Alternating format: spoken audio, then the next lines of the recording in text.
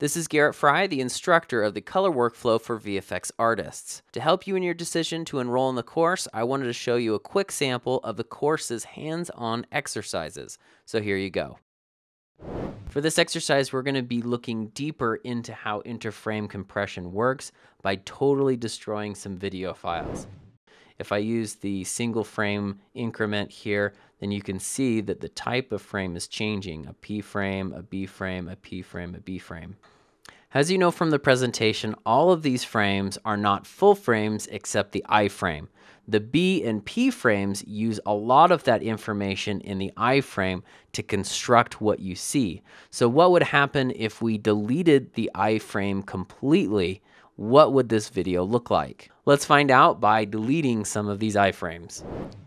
And if we play that, we're going to see something really crazy happen here.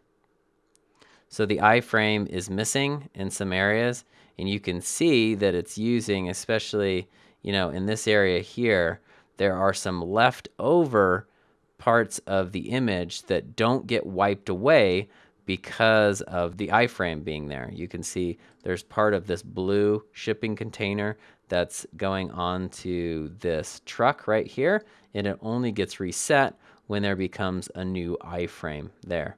So that kind of gives you an idea of how these things are made. If you do delete the I-frame, then it really messes up the progression because it does use that I-frame on every single frame afterwards until it gets to a new I-frame. So I'm going to let you mess around with this file. I also have another file for uh, you to take a look at and uh, that you can use for this exercise. It's just like the other one where there's two clips put together. There's a lot of camera movement, so you should get some pretty cool effects when you start deleting and adding some of these frames. Thanks for watching this short excerpt from this exercise. To gain access to all the training materials, go ahead and enroll now.